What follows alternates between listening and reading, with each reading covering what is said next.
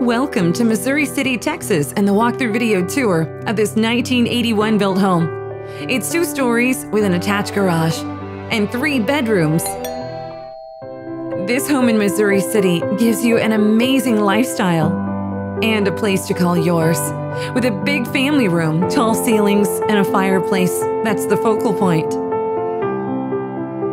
The dining room is large and there's a breakfast bar connecting with a beautiful shelf area for all of your little favorites. This home's in a tranquil cul-de-sac on an oversized lot that's never flooded. It has upgrades throughout with the appliances and it's ready for immediate move-in. It's two full and one half bathrooms.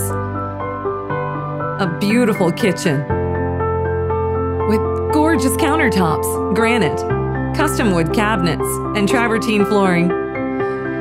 In 2015, all the appliances were updated, and they'll remain, as well as the Samsung washer and dryer.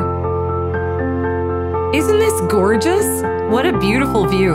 The windows were replaced in 2018 and 19, and the engineered wood floors in 2019. There's been a lot of upgrades and heavy lifting done in this home. The AC was replaced in 2019 and the furnace in 2015.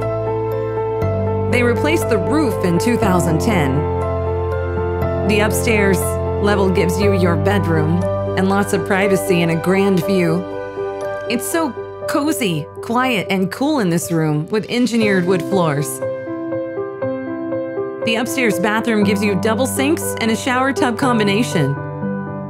The privacy of this bedroom and bathroom being on the second floor only makes it that much better.